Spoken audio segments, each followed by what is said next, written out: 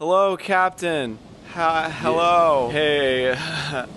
hey, why don't you sound. You usually sound like Yar, but you're not like that.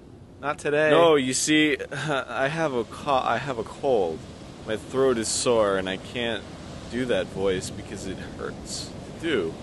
You sound like you're gonna cry, Captain. I, it's it hurts me to know that I can't do it. Look, I I can't do the voice, and I don't know if I can, you know, be a captain to these these pirate people. I don't think they would look up to me as an Well, authority. you know what, Captain? I, I think I'm good at doing the voice myself.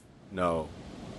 Really? Well, it would be weird. I mean, just passing all the the responsibility onto my number two shipmate. Well, I am your number two shipmate for things like this. yes, Yeah. but could you control them with your?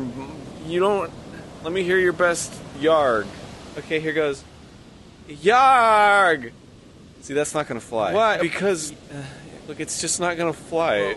Listen to yourself. Do you have a voice recorder? No, we're pirates. We how did? Okay, I'm sick.